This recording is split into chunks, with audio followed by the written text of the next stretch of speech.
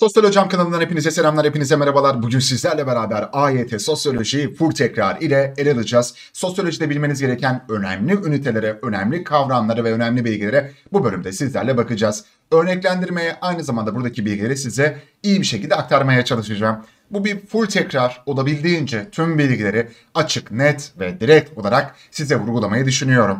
Bu videonun e, PDF'i bu videonun açıklama kısmında bulunuyor. Açıklama kısmından siz videonun pdf'ine de erişebilirsiniz. Hadi bakalım lafı daha fazla uzatmayalım. Ne yapalım? Dersimize başlayalım. Tabi dersimize başlarken yine ifade etmekte fayda var. Kanalımızda tarih, coğrafya, felsefe, din kültürü, felsefe grubu ve edebiyatla ilgili içeriklere, full tekrarlara, soru çözümlerine yine AYT ve TYT denemelerine ulaşabilirsiniz. Yenileri de yine kanala ekleniyor. Abone olarak da bunların hepsinden istifade edebilirsiniz. İlk olarak sizlerle sosyolojinin bir tanımını ele alalım. Tanımını bir ele açalım. Hani bu sosyoloji neymiş bizim için onu bir görmeye çalışalım. Şimdi sosyoloji denildiği zaman hani e, Latince toplum anlamına gelen socius ve Yunanca bilgi demek nedir bizim için? Logos yani socios logi ve toplum bilgisi manasında karşımıza çıkan genel olarak toplumu inceleyen bir bilim olduğunu ifade etmek gerekir. Toplumsal grupları, örgütlemeleri, kurumları, kurumlar arası ilişkileri, e, özellikle kurumsal yapıda etkili olan değişim ve gelişim süreçlerini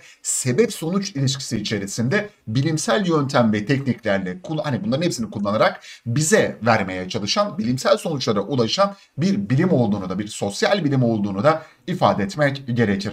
Tabi sosyoloji toplumun genel yasalarını, toplumsal davranış kalıplarını bunları belirlemeye çalışır. E, toplumu kendi bütünlüğü içerisinde de ele alır ve değerlendirir. Yani bizim için temelde bu kavram ve niteliği içerisinde barındırır. Peki sosyolojinin doğuşunu ele alacak olursak. Şimdi sosyolojinin bilim olarak e, hani ortaya çıkmasında 16. yüzyıldan itibaren doğa bilimlerinde ve felsefi düşüncede yaşanan gelişmeler yine 18. yüzyılda sanayi devrimi ve hani 1800, 1789 yılında gerçekleşmiş olan Fransız devriminin etkili olduğunu söylemem gerekir.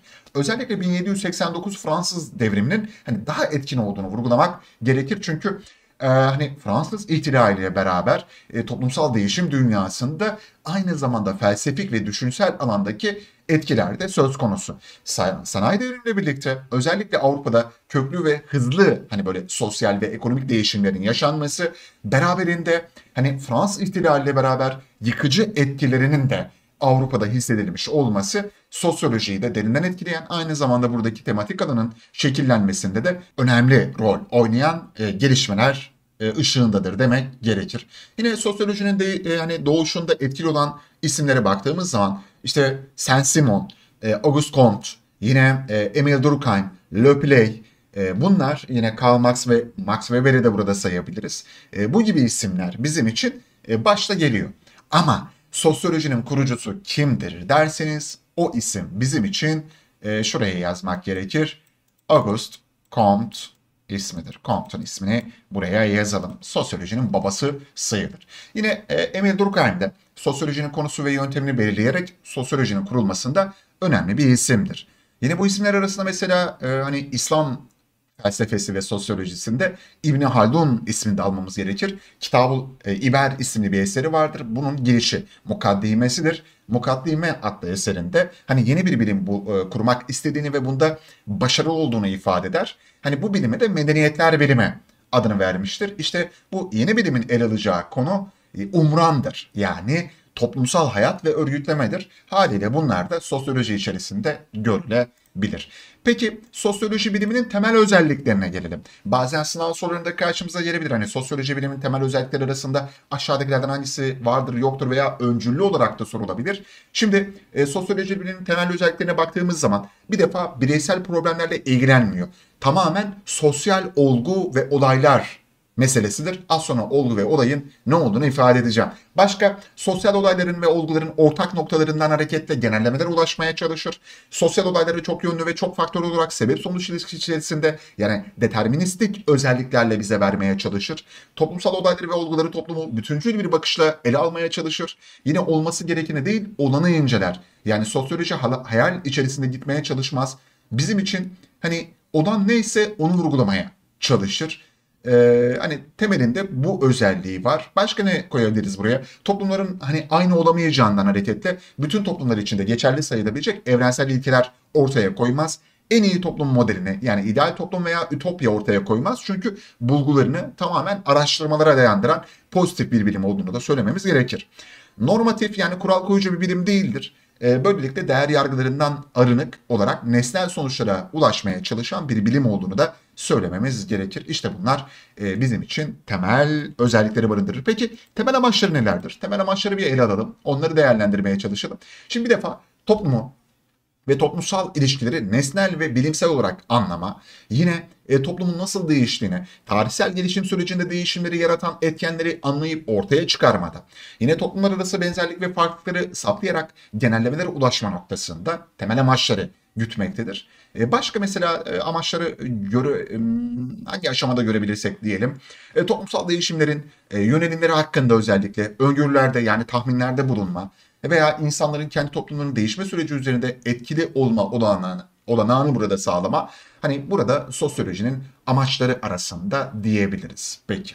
Evet ilk e, raddede bunlara bakmış olduk sosyolojinin alanıyla ilgili. Şimdi demiştim az önce olay ve olguya değineceğim diye. Peki bizim için toplumsal olay ve toplumsal olguya. Şimdi toplumsal olay bizim için nedir?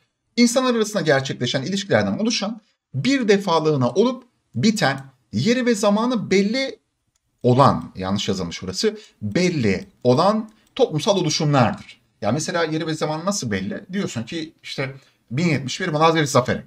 Bak Malazgirt yer 1071 zaman. Veya işte Ali ile Ayşe'nin evlenmesi diyelim. Ne zaman evlenmiş olsun? İşte 23 Nisan 2022. E, Nerede evlendi? Eskişehir'de evlendi. Bak yer zaman bir defa yaşanan bir olaydır bunlar.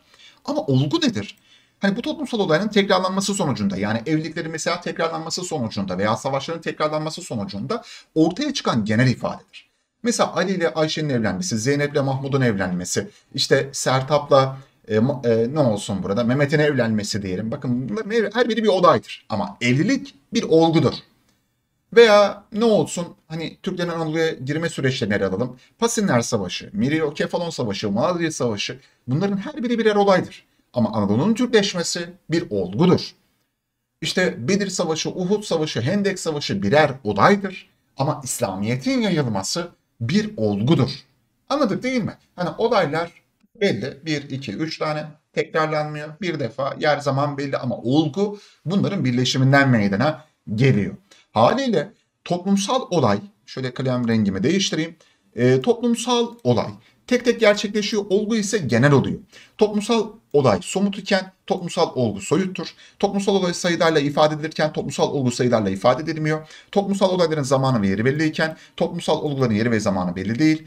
E, her ikisi de bir toplumsal yapıda ortaya çıkıyor. İkisinin burada benzerlik ve e, ortak özellik niteliğine bakmak gerekirse evet olay ve olguyla ifade edebileceğimiz temel kavram niteliği bu şekilde. Peki Gelelim sosyolojinin diğer bilimlerle ilişkisine bu kısma bir bakalım. Şimdi ilk olarak e, sosyoloji ile tarih ilişkisini bir ele alalım, değerlendirelim. Sosyoloji toplumsal olayları sebep-sonuç ilişkisi içerisinde incelerken olayların nedenlerini geçmişte araması gerektiği için de nereden istifade ediyor? Tarih biliminden istifade ediyor. Toplumsal olaylar belli bir tarih döneminde ortaya çıkarlar. E, o dönemin izlerini taşıyorlar. Bu nedenle de tarih bilimi verilerinden yararlanmak zorundalar. E, psikolojiye gelelim. E, insan davranışını psikoloji incelerken e, sosyoloji hani daha çok ne yapıyor? Toplumsal olayları ele alıp değerlendirmeye çalışıyor.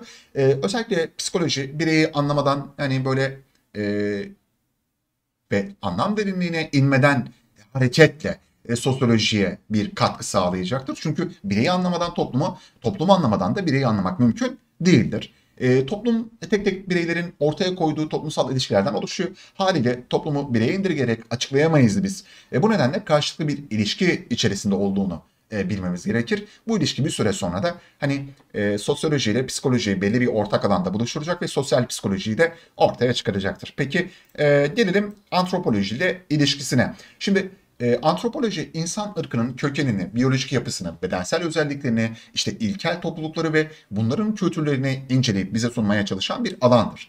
İnsan ırkının ve kültürünü evrim süreci içerisinde ele alır, bize gösterir. Mevcut toplum araştıran sosyoloji içinde hani toplumların evrimiyle ilgili bilgi ve belgeler özel önem taşır. Haliyle e, iki bilim birbirine e, tamamen veri sağlamaya çalışıyor. Peki hukuk ile ilgili temel ilişkisine bakmaya çalışalım.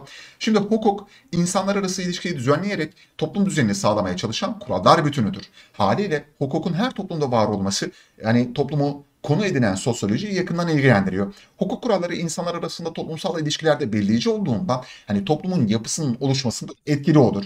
Bu manada hani e, sosyolojiyle hukuk yakın ilişki içerisindedir diyebiliriz. Ama ikisinin arasındaki ilişki de temelinde bu noktada. Peki ekonomiye gelelim. E, sosyoloji ile ekonomi arasındaki ilişkiye bakalım. Şimdi ekonomi bizim için mal ve hizmetlerin üretim, tüketim, bölüşüm, değişim faaliyetlerini ele alıyor. E, toplumu e, hani topluma faydalı olmaya yönelik de e, yapılan bu ekonomik faaliyetler e, toplumsal ilişkilerin büyük bir bölümünü oluşturuyor. E, haliyle toplumsal hayatı da önemli derecede etkiliyor. İşte ekonomik olan bir şey sosyal olandan ayrılamaz. Ekonomik etkinlikler toplumdaki mevcut kültürel yapıya göre şekillenmektedir. Bu yönüyle de ekonomi ile sosyoloji arasında yakın bir ilişki vardır dememiz mümkündür. Ekonomi ilişkisi de bu noktada. Peki gelelim bir diğer ilişkisine yani siyaset ile arasındaki temel ilişkiye. Şimdi siyaset toplumun yönetimini, devletin oluşumunu, işleyişini ele alır. Siyasal kararlar toplumu etkiler ve yönlendirir. Haliyle bazen de toplumsal olarak siyasal yönetimi ve yönetimsel kararları etkiliyor. E, siyaset yani toplumu her yönüyle inceleyen e, sosyolojiyle de bu yönden yakın ilişki içerisindedir. E, son olarak burada bir de coğrafya ile olan ilişkisine bakalım.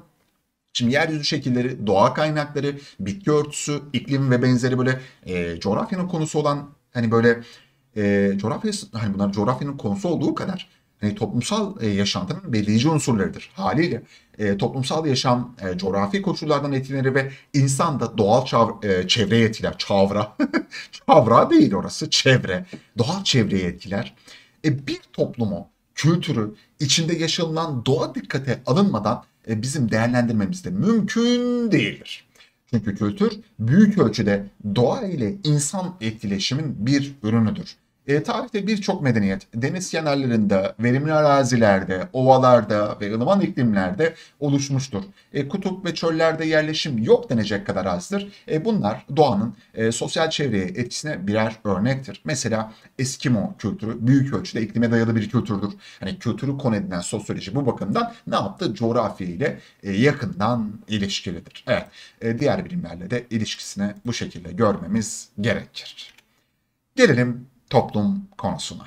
İlk olarak toplumun tanımına bakacak olursak, hani belli bir coğrafyada belli bir otoriteye bağlı olarak ortak ve temel çıkarlarını korumak için bir araya gelmiş, bu amaçla toplumsal ilişkiler kuran ve ortak bir kültürü paylaşan insanların oluşturduğu bütüne biz toplum adını veriyoruz. Toplumların içinde bulunduğu iklim koşulları, toplumu oluşturan insanların nüfusu, sahip oldukları değerleri, normları yani kuralları, ekonomik güçleri ve benzeri böyle e, hani bu unsurlar aynı olmadığı için toplumların yaşama tarzları da aynı değildir.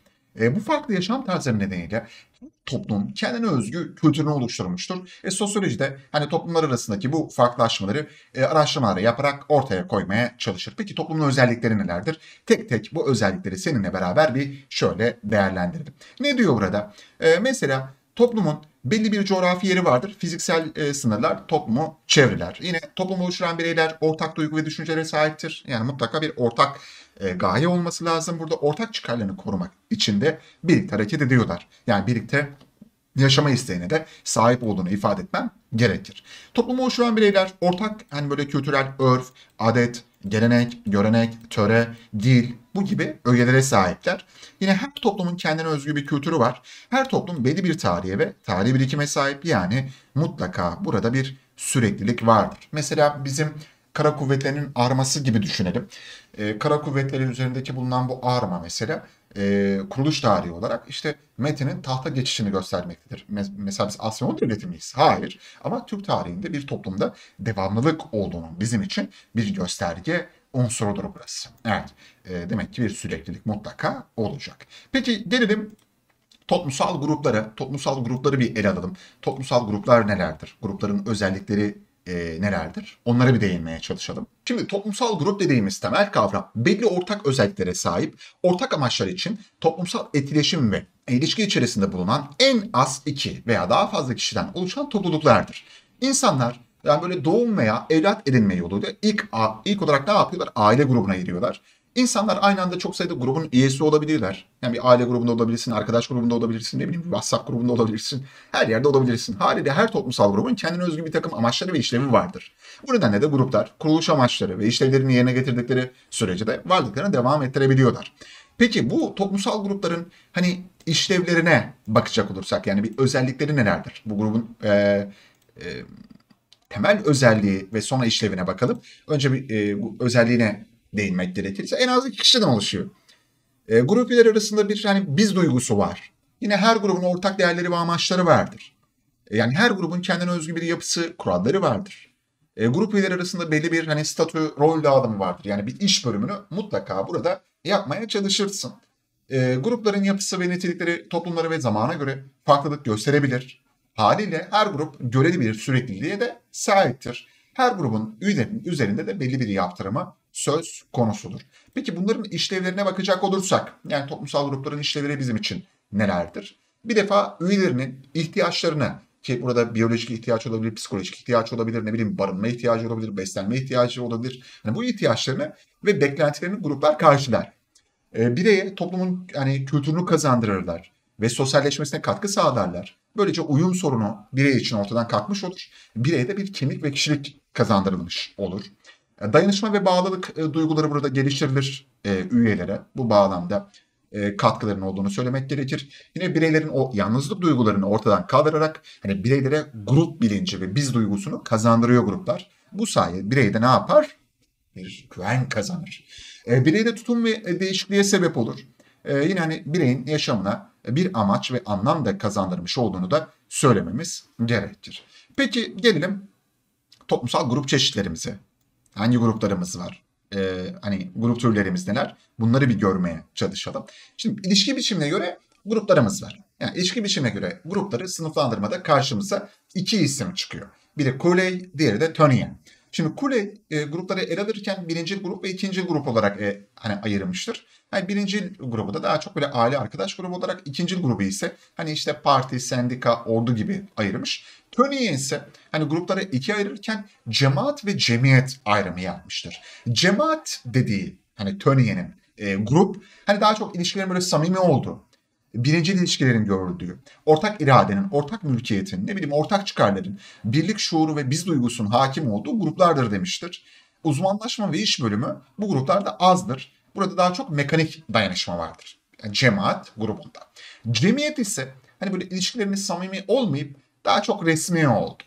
Yani çıkar amaçların biraz daha ön planda oldu. Ee, hani bireysel irade ve bireysel mülkiyetin görüldüğü, hani şehir toplulukları, kent toplulukları gibi ifade edilir. Uzmanlaşma ve iş bölümü burada çok gelişmiştir. Burada da organik dayanışma vardır. E, bu yüzden hani Durkheim'ın da bu şekilde ele almış olduğunu görmemiz gerekir ki hani cemaat ve cemiyet ayrıma kadar burada mekanik organik ayrımına da dikkat etmemiz gerekir. Peki e, devam edelim. E, gördük burada. E, nüfus hacmine göre gelelim. Şimdi nüfus hacmine göre biz hani büyük gruplar mesela işte şehir, banka gibi veya küçük gruplar işte arkadaşlık, komşuluk, aile grubu gibi veya köy grubu gibi e, ayırabiliriz. E, kuruluş biçimine göre ya mesela işte resmi ol, olan, resmi olmayan şekilde ayrılabilir. Resmi olanlar arasında işte şirketler, daireler, dernekler, okullar, resmi olmayan içerisinde ise bir oyun grubunuz, ne bileyim bir arkadaş grubunuz e, söylenebilir. Süresine göre gruplarımız vardır. Hani sürekli olan veya geçici olan. Mesela aile grubu, köy kasaba grupları sürekliyken ne bileyim bir işçi grubu, mevsimlik işçi grubu tabii. Ne bileyim bir turistik kafile içerisindeki grubunuz. Bunlar geçicidir. Bir de devirli gruplar vardır. Hani işte mesela uluslararası fuarlar, her hafta toplanılan arkadaş grupları gibi. E, katılma biçimine göre gruplarımız var. İradeli bir şekilde veya isteğinizle katıldığınız gruplar vardır. İşte arkadaş gruplarınız, dernekler. Ama bir de irade dışı vardır. Yani sizin seçmediğiniz işte e, tabi olduğunuz ırk yani ulus veya tabi olduğunuz içinde bulunduğunuz aile hani sizin tercihinizde olan bir şey değildi. E, görevlerine göre de gruplar var. Hani bir ticari şirketin bir müzik grubunun e, yerine getirdiği e, mesela görevi gibi e, veya işte belediyenin hani siyasi parti gibi birden fazla görevi yerine getirmeye çalıştığı grup gibi e, görevine göre gruplarda vardır. Yani o görevi ifa edebilmek için oluşturulan gruplardır bunlar. Bir de toplumsal grup dışı topluluklar var. Yani yığınlar ve kategoriler. Şimdi e, yığınlar dediğimiz kalabalıklardır esasen burada. E, hani kalabalık dediğimiz hani bir insan topluluğunun bulunmuş olduğu yerlerdir. Mesela e, pazarda alışveriş yapanlar, sokakta yürüyenler bizim için mesela bir sıradan kalabalıktır. E, veya maça gidenler, tiyatroyu izleyenler, konserde bulunanlar bir izleyici kalabalığıdır. Veya işte bir protesto e, yürüyüşü yapanlar, o gösteride bulunanlar bir gösteri kalabalığıdır. E, biz bunlara kalabalık deriz. Kategori ise hani aynı fiziki mekanı paylaşmayan fakat ortak bir takım özellikleri olan topluluklardır. Kategoriyi tabii kendi arasında ayırırız. Yani kitle, sosyal sınıf ve e, sosyal azınlık olarak. Mesela e, kitle dediğin nedir? Hani düşünce zevk bakımından aynı özelliklere sahip ama aynı yerde bulunmayan insanlar. İşte e, pop müziği sevenler, sigara tiryakileri veya hayvanseverler.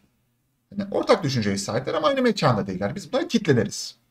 Sosyal sınıflar var. İşte gelir düzeyi, eğitim düzeyi, meslek e, mesleki seviye düzeyleri birbirine benzer ama aynı ortamda bulunmayanlar. İşte ne bileyim sanayiciler, futbolcular, öğretmenler gibi. E, bir de sosyal azınlıklar var. Hani bazı haklardan yoksun bırakılmış e, insanların oluşturmuş olduğu gruplardır.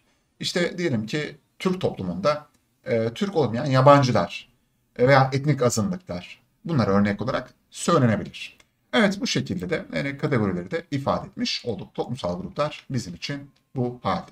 Şimdi gelelim sosyolojinin yöntem ve tekniklerine. Şimdi bu yöntem teknikleri içerisinde ilk olarak bilimlerin kullanmış olduğu genel yöntemleri bir ele alalım. Bunları değerlendirelim. Burada da ilk olarak e, tümevarım görüyoruz. Tümevarım nedir? Ayrı ayrı gözlemlerden hareketle genel yargılara ulaşmak. Peki tümden gelim nedir burada? Hani doğruluğu kabul edilmiş genel yargılara ancak özel yargılarla ulaşabilmektir ki biz de buna tümden gelim deriz. Ee, yine bir birleştirici yöntemimiz var. Hani tümevarım ve tümden gelim metotlarının birlikte kullanılmasına biz birleştirici yöntem deriz. Hani sosyal olaylar e, biliyorsunuz ki çok yönlü ve hani e, gerçekten böyle çok faktörlü olduğu için haliyle sosyolojide birleştirici metot kullanılması her zaman daha iyidir. Analoji ise hani iki olay veya olgu arasında bir veya birçok böyle özellikten istifade ederek bir yargıyı dile getirmektir. Mesela diyelim ki işte örnek veriyoruz. İstanbul büyük bir şehirdir ve toplumsal sapma sorunu vardır. Ankara'da büyük bir şehirdir. O halde Ankara'da da toplumsal sapma vardır diyorsun. Bak özelden özele gittin. Haliyle bu bizim için bir e, analojidir. Çünkü hani mantık dersinde de göreceğiz. Tümden özele gitmedin. Mesela bütün hayvanlar canlıdır. İşte ne diyeyim kuş bir hayvandır. O halde kuş da canlıdır. Bak burada bütün e, özel ilişkisi var. Ama benim dediğim özel özel ilişkisi. İstanbul ve Ankara burada bir bütünü kapsamaz değil mi? E, haliyle bu bizim için bir analoji olur. Demek ki bilimlerin kullandığı yöntemler böyle. Peki sosyolojinin araştırma yöntemleri neler? Bunlara gelelim. Şimdi burada bir tarama araştırması var. E, amaç burada hani geniş grupları kapsayan bir araştırma metodu uygulayabilmektir. E, en önemli türü de kamuoyu araştırmalarıdır. Yani bu araştırmalarda çoğunlukla anket ve görüşme teknikleri kullanılıyor. E, alan çalışmalarımız var. Hani belli bir olayın çok boyutlu olarak derinlenmesine, incelenmesine biz alan çalışması deriz. En önemli türü de monografidir.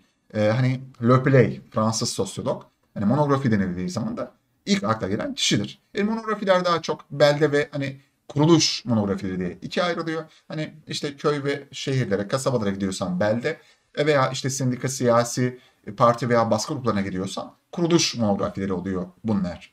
Bir de belgelere dayalı araştırmamız var burada. Yazılı belgeler, istatistik belgeler, hani böyle günlük yaşamın bir parçası olan türlü belgeler. Nedir bu? Fotoğraf olabilir, ses kayıtları olabilir, ne bileyim ev ve iş araç gereçleri olabilir. Bunlar kullanılarak bir konunun araştırmasına biz e, belgelere dayalı araştırma diyoruz. Bir de sosyolojide veri toplama tekniklerine gelelim. Yani dedik ki araştırma yapıyoruz ama bir de veri toplamamız lazım bizim burada.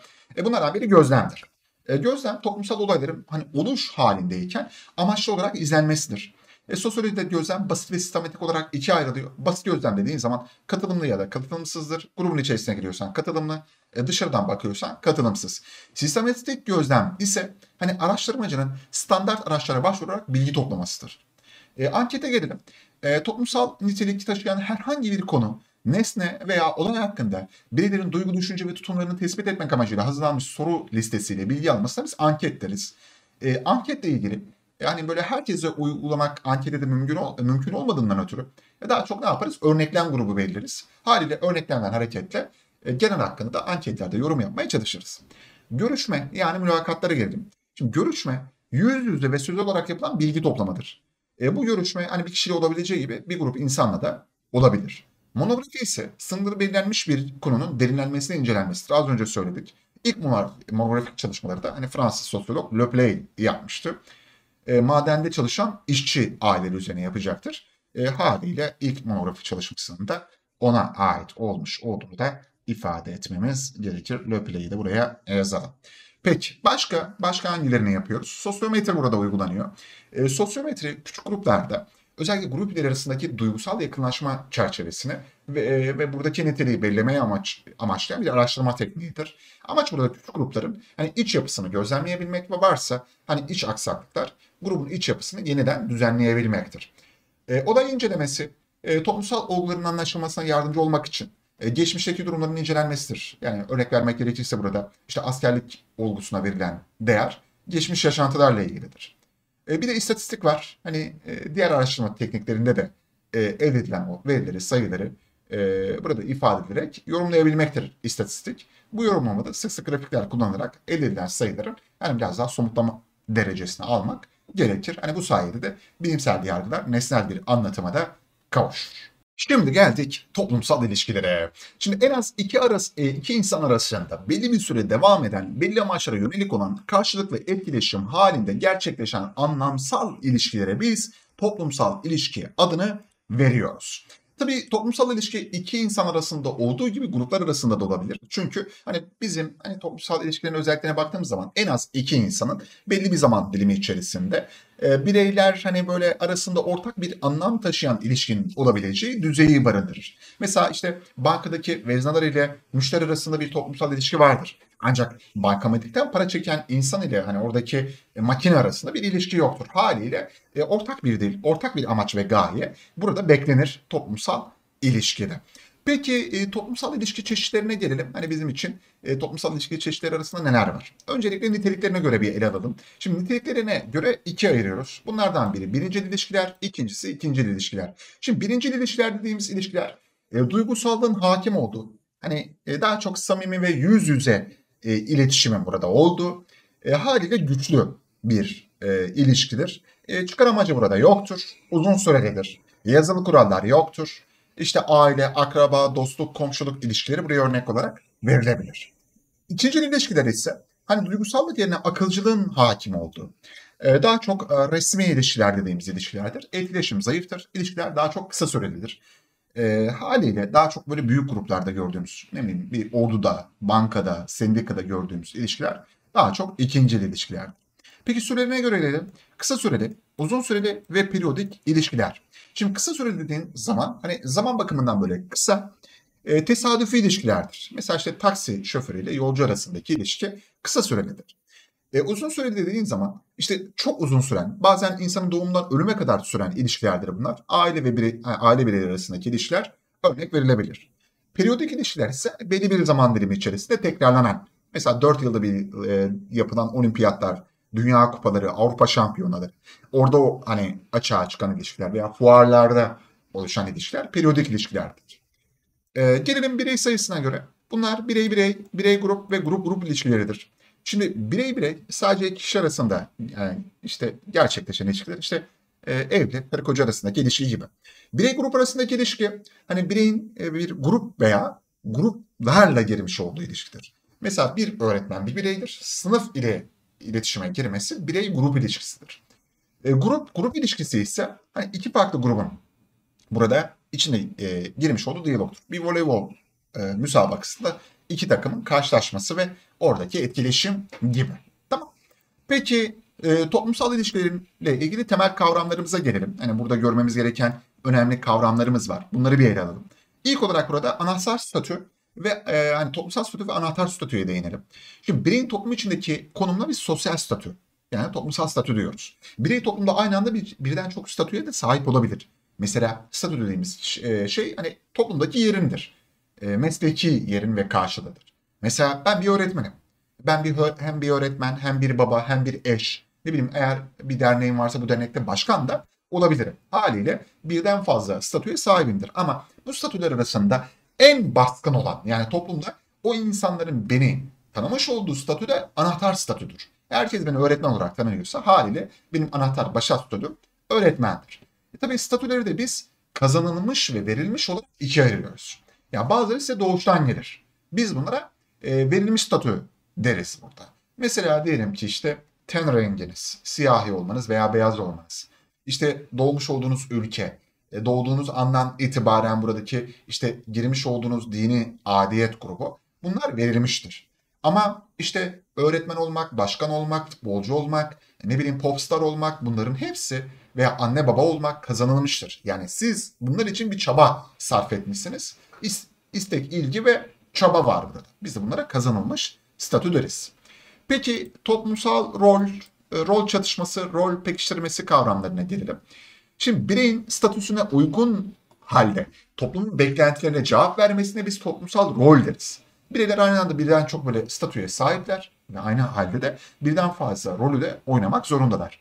Eğer e, bireyler statülerine yönelik olarak rollerini burada karıştırırsa e, burada bir rol çatışması meydana geliyor. Mesela diyelim ki adam subay, diyelim ki adam general. Evde de işte misafirlerine, ailesine bir şeyi istek ve talep olarak belirtirken emrederek bunu söylerse haliyle ne olur? Bir rol çatışması olur.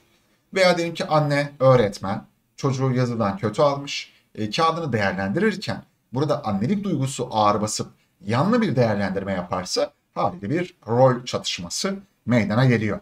Peki rol pekişmesi nedir? Hani bireyin yerine getirdiği roller birbirine benziyorsa ve birbirini destekliyorsa burada rol pekişir. Mesela diyelim ki adam avukat ama diyelim ki savcı olacak. Haliyle bu mesleki dönüşümde rol pekişmesi meydana gelebilir. E, bir öğretmen aynı zamanda anne, e, çocuklara da anne şefkatiyle yaklaşır. Buna göre hareket etmeye çalışırsa haliyle rol pekişir. Peki e, ne neredeyiz? Saygınlıktayız. Toplumsal prestij. Kişinin toplumdaki saygınlığına sosyal prestij adını veriyoruz. Prestij bireyin saygınlığına bağlıdır. Aynı statüdeki insanların saygınlıklarının farklı olması da hani prestijin kişilik özelliklerine e, yani o kişinin soyuna, servet durumuna, toplumda içinde bulunmuş olduğu konuma, biyolojik özelliklerine, eğitim derecesine, ne bileyim dini adiyetine birçok şeye göre de değişebilir. Peki toplumsal değer nedir burada? Toplumsal değer dediğimiz temel kavram hani toplumdaki kişilerin içten bağlı oldukları ortak duygulardır, düşüncelerdir, kurallardır, uygulamalardır. Mesela namus, bayrak, vatan, bağımsızlık, dürüstlük bunların hepsi toplumsal değerler içerisinde görülebilir. E şimdi değerler ortak olarak benimsenip paylaşıldığı için de hani toplumda bir işbirliği ve dayanışma yaratıyorlar. Haliyle değerler sayesinde bireyler hangi durumlarda nasıl davranacaklarını önceden biliyorlar. Çünkü bir toplumsal kimliğe de e, bu gayeyle ulaşmış oluyorlar. Değerlerinde bu gibi özellik niteliği var.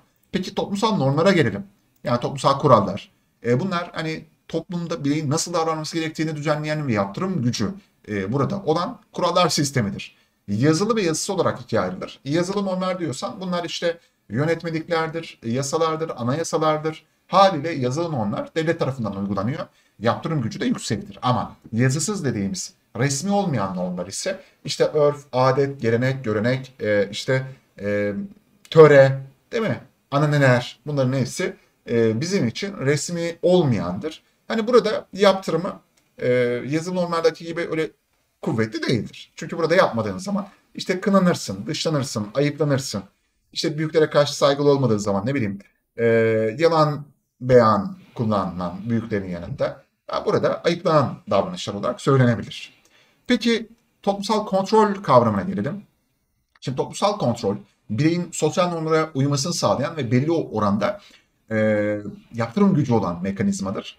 E, yine ikiye ayırırız. Resmi ve resmi olmayan diye. E, resmi kime bağlıdır? Hukuka bağlıdır. Haliyle hani buraya aykırı davranmak, hukuka aykırı burada düzenleme yoluna gitmek, e, para hapis cezasını, ne bileyim e, hak mahrumiyetini veya toplumsal hizmetlerde zorunlu çalıştırma gibi hususları doğurabilir. Ama resmi olmayan yani buradaki kontrol ise daha çok hani dine, ahlaka, geleneğe bağlıdır. Uyumadığınız takdirde de kınanır, dışlanır veya ayıplanırsınız. Toplumsal sapma yani anomi kavramına gelecek olursak buradaki son kavramındır. E, bu toplumsal kontrolün etkisiz veya böyle yetersiz kalması durumunda sosyal değer ve normlardan sapma hususudur. E, yani bireyin ait olduğu böyle toplumsal değerleri ve normları ihlal etme e, hususudur. E, olumsuz sapma ve olumlu sapma vardır. Yani sapma her zaman olumsuz değildir. Eğer toplum tarafından onaylanmayan durumları ortaya çıkarmışsa ne bileyim rüşvet alma, hırsızlık yapma, e, bir cinayet işleme veya yolsuzluk yapma bunlar olumsuz sapmadır. Ama toplumca idealleştirilen davranışlar da vardır. Mesela insanlık adına yapmış olduğun fedakarlıklar, e, yoksullar için ne bileyim bir kişinin tamamen servetini harcaması bunlar da olumlu sapmadır. Çünkü hani beklenenin daha fazlasını senden e, hani sana beklenenin daha fazlasını vermişsindir. Haliyle olumlu sapma da e, mevcuttur demek gerekir. Evet toplumsal ilişkilerde tek tabloda bu şekildeydi.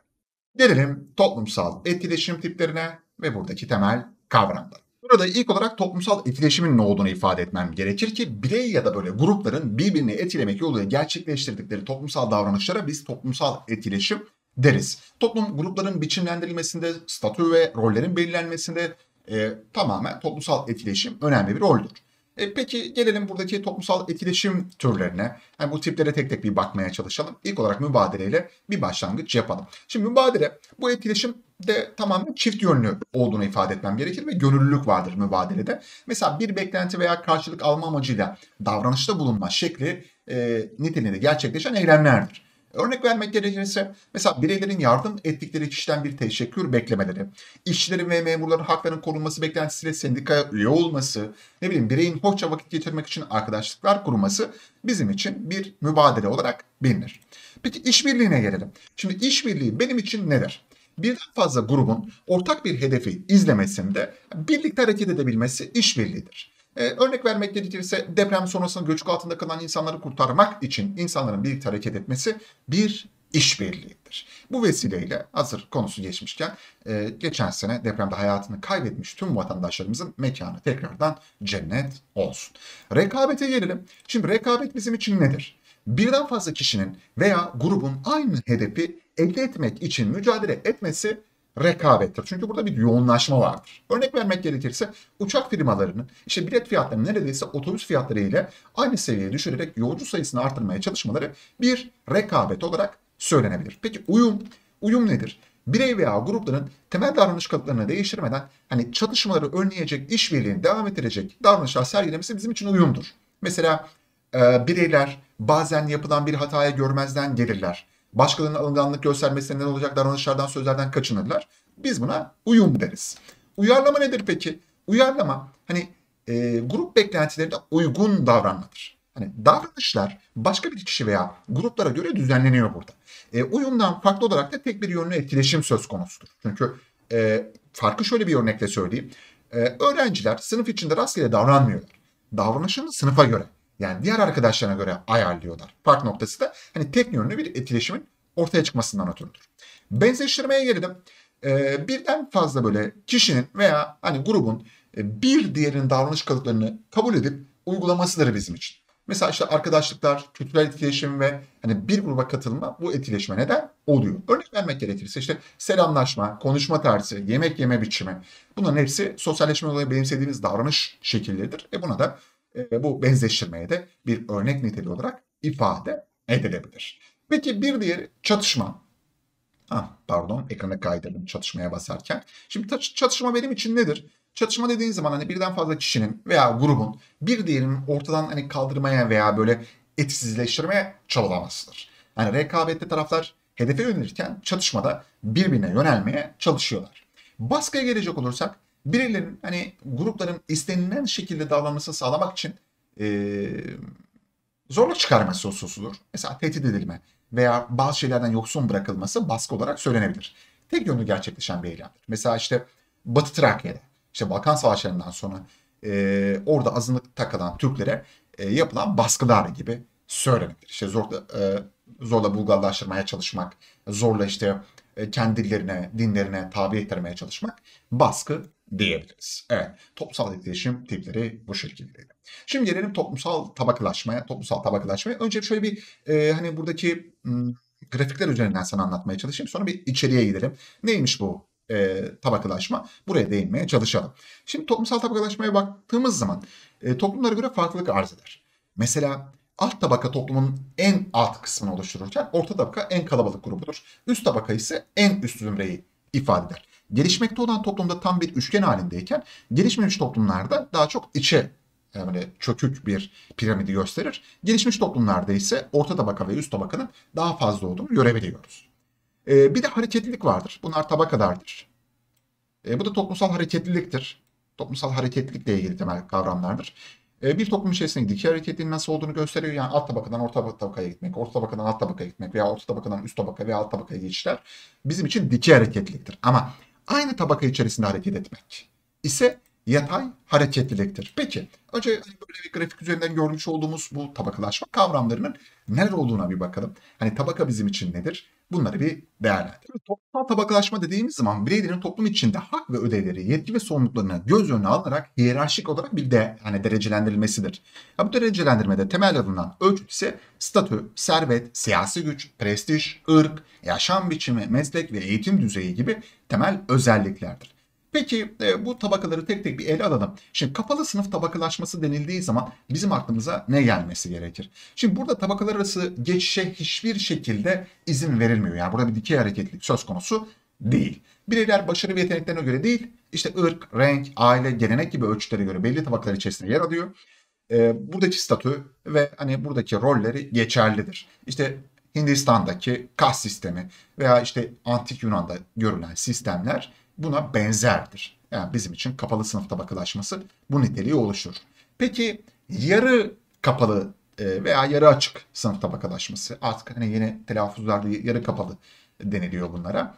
E, peki bu nedir? E, daha çok hani Orta Çağ Avrupa'sında görmüş olduğumuz sistem gibi feodalite dediğimiz sistem vardı ya. Ancak belli özelliklere sahip olduğunuz zaman tabaka arası geçiş sağlayabiliyorsunuz. Onun dışında hani bir geçiş burada size verilmiyor haliyle e, sadece geçişin belli şartlara bağlı olmasıdır. Açık sınıf tabakalaşması ise hani tabaka arası geçişin dikey hareketlilikle rahatça olabildiği, demokratik kurallara göre serbest bir geçişin e, görülebildiği tabakalardır. İşte diyelim ki yoksul bir ailenin bireyinin bir devlet başkanı olması haliyle açık sınıf tabakalaşmasına görebileceğimiz bir unsur. Dediğimiz gibi geçişler var burada. İşte bu geçişleri biz toplumsal hareketlilik deriz. Toplumsal hareketliliği de dikey hareketlilik ve yatay hareketlilik olarak ikiye ayırırız. Şimdi toplumsal hareketlilik coğrafi mekanda yer değişimi veya sınıf ile tabaka arasında geçişlere verilen bir örnektir. Dikey hareketlilik ön plan alındığında burada bireylerin geri düzeylerinde, saygınlıklarında ve yaşam biçimlerinde belirgin ve önemli değişiklikler varsa işte alt tabakalardan üst tabakalara veya üst tabakalardan alt tabakalara geçişidir burada. E, haliyle az önce vermiş olduğum örnekte gibi fakir bir ailenin çocuğun devlet başkanı olması veya devlet başkanı olarak e, görevini sürdüren bir insanın görevi bittikten sonra tekrardan halkın içerisine karışması dikey hareketliliktir. Yatay hareketlilikte ise burada çıkmadı ağzımdan kelime. Yatay Yatay hareketlilikte ise bizim için önemli olan nedir burada? Aynı tabaka içinde sınıflar arasında gerçekleşen değişimlerdir. Bireyin gelir düzeyinde, saygınlıklarında ya da yaşam biçimlerinde önemli değişiklikler hareketlilikte oluşmuyor.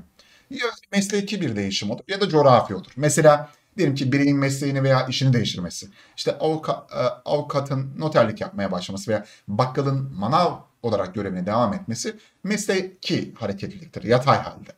Coğrafi alanda ise ya diyelim ki işte e, bir ülkeden başka bir ülkeye geçmek veya bir bölgeden başka bir bölgeye geçmek e, coğrafi hareketlilik içerisinde görülebilir. Burada statü değişmiyor, yer değişiyor, mekan değişiyor. Tamam mı? Mantık bu şekilde. Evet, e, toplumsal tabakalaşma için de söyleyebileceklerim bu kadar.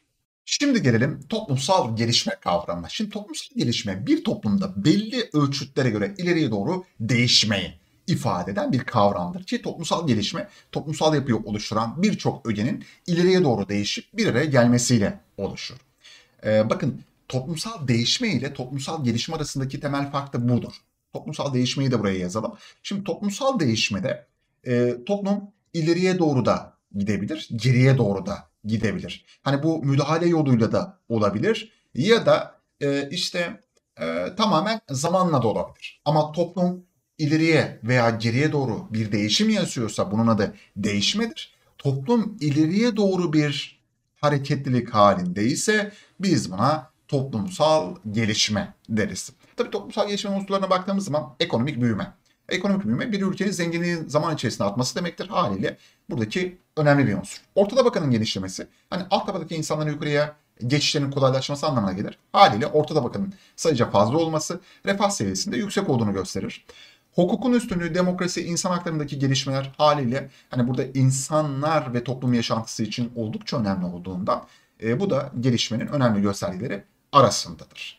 E, demek ki işte hukuk üstünlüğü, demokrasi, insan hakları, ekonomik büyüme, orta tabakanın genişlemesi ilerlemeyi bize e, gösteren temel e, temel emareler arasındadır. Ama dediğim gibi hani toplumsal gelişmeyi toplumsal değişmeden ayıran temel faktör e, toplumsal gelişmenin ileri yönlük olmasıdır. E, toplumsal değişme ise hani daha çok burada hani ileriye doğru olabilir, geriye doğru olabilir. Yani buradaki e, değişmenin nasıl olacağını bilemezsin. E, serbest bir halde de toplumsal değişme olabilir veya müdahale yoluyla da olabilir burada. E, yani tamamen zamana ve mekana, niteliğe göre e, toplumsal değişme e, burada farklılaşabiliyor. Peki gelelim kültür kavramı. Şimdi kültür bizim için nedir? Kültür insanın doğa dışında yarattığı ve ona eklediği maddi ve manevi her şeydir. Nedir bu maddi şeyler? Mesela o insanın bulunmuş olduğu coğrafi konu, somut unsurlardır bunlar. İklim, yer şekilleri, su özellikleri, toprak özellikleri, simgesel değerleri bunlar bizim için maddi unsurlardır. E, manevi her şey nedir burada? Yani işte soyut olan kavramlar. Elle tutulmayan, gözle görülmeyen ama insanlar arasında etkin olan. Dil, din, inanç, gelenek, görenek, ahlak kuralları, hukuk kuralları, normlar yani. Siyasal örgütlenmeler, düşünce yapıları, komşu kültürler bunlar da manevi özelliklerdir. Haliyle kültür öncelikle insanoğlunun hayatta kalmak için bir uyarlanma aracıdır. İşte maddi ve manevi bütününde kültürlerin ırklar oluşturur. Peki e, kültür içerisindeki temel kavramları bir ele alalım. Yani e, kültür içerisinde, toplum içerisinde yaşayan insanların kültürle karşı karşıya kalmış olduğu temel niteliklere bir bakalım. Burada ilk göreceğim kavram benim için kültürlemedir. Kültürleme nedir? Bir toplum içerisinde hani e, dünyaya giren bireyin özellikle o aile içerisinde ele almış olduğu temel bilgileri burada bir kültür varlığı olarak alması, gelecek kuşaklara aktarması sürecine biz kültürleme deriz. Peki kültürleşme nedir? Diyelim ki iki farklı kültür burada karşı karşıya geldi. Bu iki kültür e, birbiriyle alışveriş yaptı. Diyelim ki ben Türk kültüründen bir bireyim. Bir de Yunan kültüründen bir insan var. Kendi kültüründeki temel özellikleri karşı tarafa verme. E, o insanın da kendi kültüründeki temel özellikleri benimle tanıştırması bir kültürleşmedir. Bak buradan yeni bir kültür doğmuyor. Tamamen bir kültürel alışveriş var. Biz buna kültürleşme deriz. Kültürel yayılmaya gelir. Belli bir noktada ortaya çıkan kültürel ögenin veya varlığın, maddi manevi varlığın dünyanın farklı yerlerine burada ulaşabilmesi kültürel yayılmadır. İşte kahvenin Yemen'den Osmanlı topraklarından oradan Avrupa'ya ulaşması.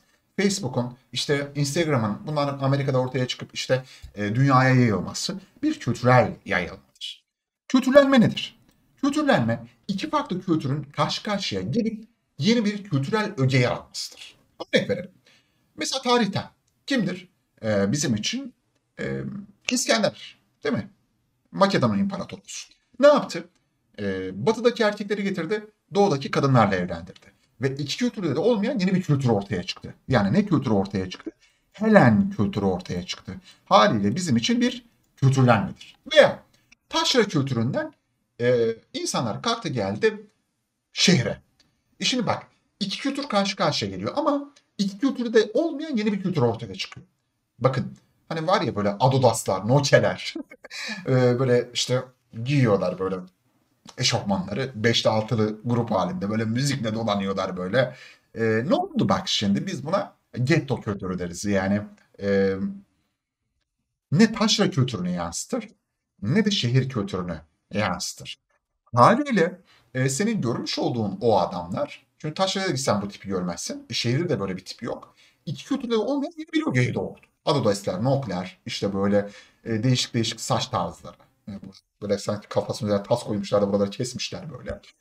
E, eşofman takımları falan böyle. E diyorum yani bu taşları da görmezsin. Şehirde de böyle bir kültür yoktur. Bunlar hep kültürlenmedir. Yeni bir kültürel öge ortaya çıktı. Kültür şoku. Kültür şoku şudur. Mesela gittin Çin'e veya Hindistan'a. Burada yemek kültürlerini gördün. Açsın, yemek istiyorsun. Ama e, adamın yaptığı fareyi, kestiği kediyi, yediği köpeği yiyemiyorsun abi. Uyarlanamıyorsun. Tamam mı? Yani bir kültüre adapte olmaya çalışmak ancak bunu başaramamaktır bizim için kültür şoku. Yani işte değişik bir e, şey görüp "Oo, ay, böyle şey mi varmış demek değildir. Hani şok hayret etmek değildir şok.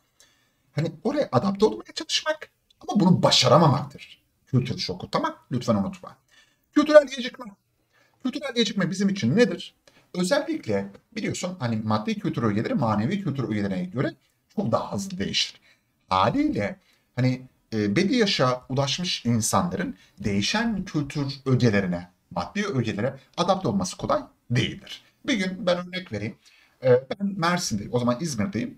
Mersin'deki e, teyzemle işte örnek verdiğim yılda 2002-2003. O zamanlar yani. E, ben liseye gidiyorum. E, o dönemlerde işte MSN Messenger vardı. Tabii Facebook daha 2004'te kurulmuştu. Facebook falan yok. Insta, Twitter falan böyle mümkün değil. WhatsApp falan bunlar piyasada yok. O zaman e, şu vardı bak. MSN Messenger vardı. Burada görüntülü konuşabiliyordu. Böyle titretiyordun falan böyle. Efsane bir şeydi. Şimdi oradan e, bana nenem söyledi ki ya dedi teyzen dedi Mersin'de bu internette senin girdiğin bilgisayarda bir şey var dedi. Böyle hani açıyorsun dedi. E, onu seni görebiliyormuş. Dedi hele onu aç dedi bir konuşalım. E dedim tamam. Açayım konuşalım. Şimdi ben açtım. Şöyle bir ekranımız var burada. E, bilgisayar ekranı.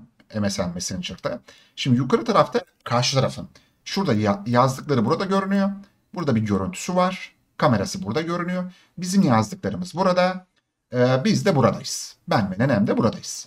Messenger'ın e, ekran paneli böyle. Teyzem burada. Biz de buradayız. Neyse konuştuk, sohbet ettik vesaire falan böyle. E, sonra teyzem dedi ki ya dedi ben dedi yemeği dedi üzerinde unuttum. Ben dedi gideyim bir yemeğe bakayım hemen geliyorum gitmeyin. Dedik tamam. Benle nenem de buradayız. Aşağıda kamerada görünüyoruz.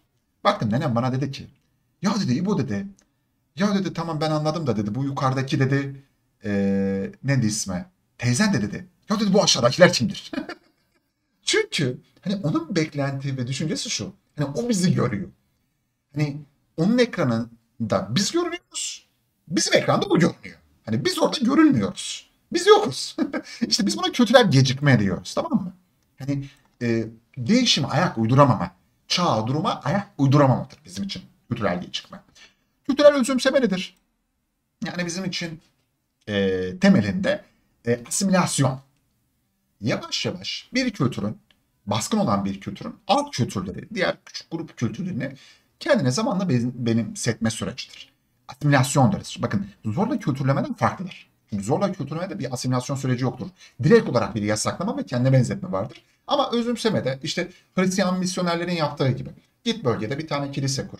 İşte bir Hristiyan okulu kur. Zamanla orayı kendine benzet. Biz buna özümseme deriz.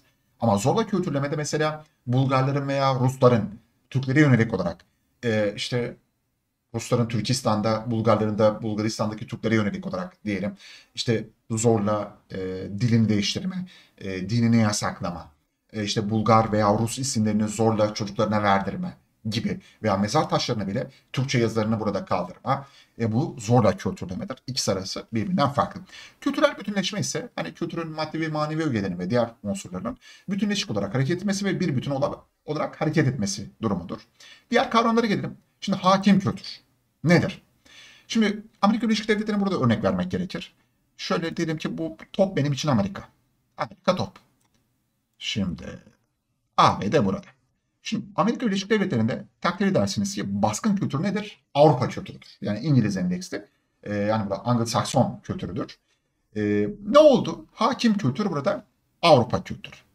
Ama sadece Amerika Birleşik Devletleri'nde Avrupalılar mı vardı? Hayır. Bir de neyi vardır burada? Alt kültürü vardır.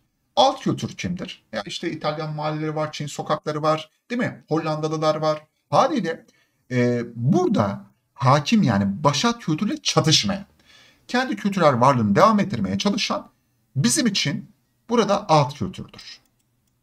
Alt kültür de burada. Hakim kültürle çatışmıyor ama kendi kültürel varlığını da devam ettiriyor.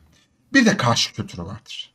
Yani hakim kültürün ögelerini benimsemeyen ve hakim kültürle burada e, çatışan bizim için karşı kültürdür. İşte Amerika Birleşik Devletleri'nde siyahilerdir. Yüzyıllarca orada köle gözüyle görülmüş, köle gözüyle bakılmış ve köle olarak yaşantılarını sürdürmüşlerdir. Mesela bu adamların bir müzik kültürü var. Hip hop kültürü. Mesela karşı kültürün tam özelliğidir değil mi? Çünkü o kültürü benimsemeyen ve gerçekten çok karşıt kelimelerle burada ağır bir sanatsal hamledir. E demek ki hani bu kavramlar bu niteliği barındırıyor. Etnosentrizm kültür bencilliğidir. Hani kendi kültürünü en üstün, ırk en üstün e, nitelik olarak görmek. İşte İkinci Dünya Savaşı sırasında Hitler'in izlemiş olduğu en üstün ırk e, Alman ırkıdır düşüncesi bir kültür bencilliğidir.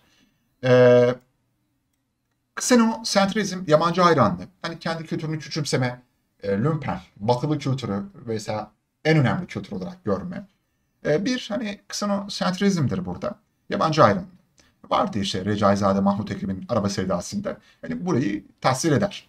Ksenofobizm ise yabancı kültür düşmanlığıdır. İşte günümüzde Çin'de veya Kuzey Kore'de işte Amerikan mallarına karşı ambargo uygulama veya bunları e, kullanmama Çin'de, Kore'de, e, Kuzey Kore'de özellikle yabancı kültür düşmanlığı olarak e, tanımlanabilir. Evet, kültür kavramlarımız da bu şekilde. Gelelim toplumsal kuruma. Şimdi toplumsal kurum dediğimiz ana esas insanların ortak ve temel ihtiyaçlarının giderilmesine yönelik ortaya çıkan ilişki ve rollerin kurumsallaşması sonucu yapılardır. E, temel özelliklerine baktığımız zaman bu kurumlar evrensel, işlevsel, değişebilir, etkiler, yeniler, değişim hızı, farklı olan, kendine özgü olan ilişkisel bütünlerdir. Peki bu kurumları tek tek bir ele alalım. Önemli olanları ve sınavda çıkabilecek olanları değerlendirelim. İlk olarak aile kurumunu bir ele almak gerekir. Aile kurumunu gördüğümüz zaman e, ailenin temel özelliği evrenseldir. Bütün dünyada aile yani hem hani toplum için olmazsa olmaz bir özellik görülür. Hem dinsel nitelikte baktığı zaman da kutsal görülüyor. E, çekirdek yapıdır. Toplumun en çekirdek yapısına aileler oluşur ve birincil hani bir grup ve ilişki özelliğine sahiptir. E, aile bireyler için e, hem ekonomik hem biyolojik hem psikolojik hem de sosyal desteği sağlar ve toplumun devamlılığı için de oldukça önemlidir. Ailenin hani modellerine baktığımız zaman egemenliğin verilişine göre aileler vardır. Yani Mederşahi anaerkil toplumlar vardır. Hani bu dünya üzerinde çok nadirdir anaerkil toplumlar. Çünkü toplumlar daha çok ataerkildir günümüzde. E, tabii hani giderek artık modern eşitlikçi demokratçı aileye dönüyoruz yani modern ailelerde oluyor ama hala ataerkili yapıları vardır dünya üzerinde o yoğunlukta. Mesela bizde bile yeni yeni değişimler. İşte hani kişi evlendiği zaman hani eşinin erkeğin soy ismini almama, işte çocuk e, üzerinde soy isminin e, burada farklılaşması illa baba üzerine olmama gibi durumlar modern eşitlikçi ailelerde görülen düzenlemelerdir. Ama işte baba soylu düşünme, babadan kanın geldiğini düşünme, e, babadan soy ismini alıp taşıma bu ataerkil yapıda vardır. Bir de çocuk erkil aileler vardır ama çocuğa yönelik olarak e, aile yapısını şekillendirme. E, bu da e, bu modellerde görülebiliyor. Bir de üye sayısına göre var. Geleneksel geniş aileler hani ana baba, e, kardeşler, kardeşler de evli, onların çocukları hepsi köy ve kasaba hayatında görmüş olduğumuz aile tiplemeleridir. Çekirdek aile anne baba çocuktan oluşan. Yeni geniş aile ise hani e, hani geleneksel geniş aileden ziyade şehir kültüründe birbirine daha yakın olan böyle işte anne baba çocuk e, yani iki çocuk ve iki çocuğun çocukları gibi görebileceğimiz aile tipleridir. Bir de eksik tek ebeveynli aileler var. İşte ölüme veya boşanmaya bağlı olarak ortaya çıkan aile tiplemeleridir bunlar. Evliliğe gelelim. Şimdi evlilik ne için kurumsallaştırılmıştır? Böyle bir sınav sorusu vardır. Çünkü e, insan yavrusunun bağımlılığı vardır burada. Anneye de babaya da. Çünkü annenin de varlığı o çocuğa çok şey katar, babanın da varlığı çok şey katar. Çünkü erkeğin ve kadının toplum içerisindeki özellikleri, davranışları, kadıkları, yapıları, ruhi unsurları birbirinden tamamen farklıdır. Haliyle kadın erkek arasında yapılan toplumca benimsenmiş değerler ve normlar çerçevesinde onaylanmış sözleşmeleri biz evlilik adını veriyoruz. Tabii evlilikler de gerçekleştirirken hem el seçimine göre hem işte yerleşme biçimine göre hem işte e, zaman içerisindeki değişime göre de bunlar farklı isimlerde tanımlanabiliyor. Şimdi eş sayısına göre evlilikleri ele aldığımız zaman eğer bu bir tek eşlilik ise biz buna monogami deriz. Ama burası bir çok eşlilik ise biz buna poligami deriz. Şimdi e, dedik ya eş sayısına göre bunlar değişebiliyor. E, burada yazmıyor ama ben yazayım. Mesela çok eşlilik dedik ya birden fazla erkekle evlenme durumu oluyorsa biz buna poliandri diyoruz. Yani bir kişi, bir kadın birden fazla erkek ile evleniyorsa biz buna poliandri deriz. Ama e, bir erkek birden fazla kadınla evleniyorsa tam tersi pa değil bu po buna da polijini deriz. Tamam mı? Bir erkek birden fazla kadınla evleniyorsa yani birden fazla jini varsa e, bir kadın birden fazla erkekle evleniyorsa yani birden fazla Andrei varsa. Hani Jini gerçekten kadın ismidir, Andrei de erkek ismidir. Bu şekilde de kodlayabilirsiniz. Peki yerleşme e, çevresine göre evliliklere gelelim. Şimdi kişiler evlendi. Evlendikleri zaman eğer e, burada hani anne evine yani kız evine yerleşiliyorsa biz buna matrilokal deriz. Erkek evine yerleşiliyorsa buna patrilokal deriz. Her iki tarafta da olmayan modern nitelikte yani anne hani kız tarafında veya baba tarafın e, erkek tarafında hani yerleşim olmuyorsa biz de buna neolokal deriz. Yeni yerleşim açmaya da neolokal deriz. Peki eş nereden seçildi? Eş eğer kendi akraba ve aile grubundan seçiliyorsa biz buna iç evlilik yani endogami deriz. Hani Osmanlı'daki iç saray okulu olan Enderun'dan aklınıza gelsin. Eğer kişi tamamen kendi klanı, aile veya akraba grubundan evlenmiyorsa, yani tamamen dışarıdan alıyorsa egzozdan, arabanın dış parçası aklınıza gelsin orada. Biz buna dış evlilik deriz. E, dul kalan eşin evliliğine göre olanlar da var. Ya diyelim ki işte e, nedir burada? E, kadının eşi öldü, e, gitti işte burada kaynıyla evlendi. Biz buna levirat deriz.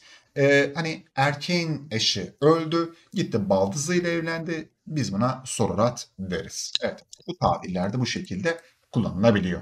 Peki, devam edelim. E, gelelim son değineceğim temel kavrama eğitim. Şimdi eğitim bireylere bir anlayış biçimi sunan, e, onları hayata hazırlayan, yine gerekli görülen hedefler doğrultusunda yönlendirmeyi amaçlayan bir unsurdur. Tabii eğitimde toplum içerisinde bir takım işlevleri vardır. Siyasal işlevlere baktığımız zaman hani iyi insan vatandaş niteliklerini belirlemede, işte iyi insan vatandaş yetiştirmede, lider yetiştirmede, bilinçli seçmen yetiştirmede eğitimin rolü yaslanamaz. Toplumsal işlevlerine baktığımız zaman işte kültürleme ve sosyalleşme aşamasında eğitim olmazsa olmaz önemli bir niteliktir. Çünkü toplumsal değerleri aktarır. E, toplum kültürel mirasının birik, e, birikimini sağlamada ve sürekliliğini sağlamada önemlidir. Yine toplumsal sorunları çözmede eğitim önemli bir özelliktir. E, bireyin kendini gerçekleştirmesinde bireysel işlevi vardır. İşte bireyin kendine uygun meslek seçmesinde, üretici ve tüketici niteliğinde iyi bir şekilde yetişmesinde ve nitelikli insan gücü yetiştirmede ekonomik işlevi vardır. İşte eş seçiminde, e, arkadaş dost seçiminde veya işte çocuk bakıcılığı gibi farklı unsurlarda da gizli işçileri eğitimi bulunmaktadır. Haliyle eğitimde toplumda önemli bir işlevsel özellik gören e, alanlardan biridir. Evet eğitim kurumunda bu özellik nitelik e, olarak görme gerekir. Evet, e, sosyolojinin önemli temel kavramlarına sınavlarda en çok çıkan, sınavlarda en çok değinilen e, ana hatlarına bakmaya çalıştık. Tabii tüm sosyolojiyi ele almadım. Çünkü oldukça kapsamlı ve geniş bir ders. Ama ben hani son yıllarda 3-5 yıldır karşımıza gelen sınav sorularında e, hedef görürsek en fazla üzerinde durulan kavramları bu bölümde size sunmaya çalıştım. Umarım faydalı olmuştur. Sınavlarda şimdiden can ediyorumdan başarılar dilerim. Videoyu beğendiyseniz beğenmeyi unutmayın. E, kanalımıza abone olarak yine tarih, coğrafya, felsefe, din kültürü, felsefe grubu dersleri ve e, hani edebiyat ile beraber e, yine e, böyle AYT, TYT denemelerine de e, bu kanalda erişebilirsiniz. Bilginiz olsun. Kendinize çok çok dikkat edin. Size ve ailenize saygı ve selamlarımı iletiyorum. Hadi bakalım. Hoşçakalın.